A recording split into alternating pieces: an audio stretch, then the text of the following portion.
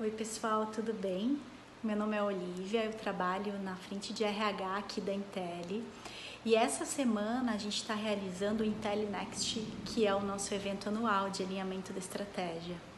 Hoje eu tive a oportunidade na parte da manhã de contar um pouco o que, que a gente já realizou pensando em Employee Experience e o que, que vem pela frente.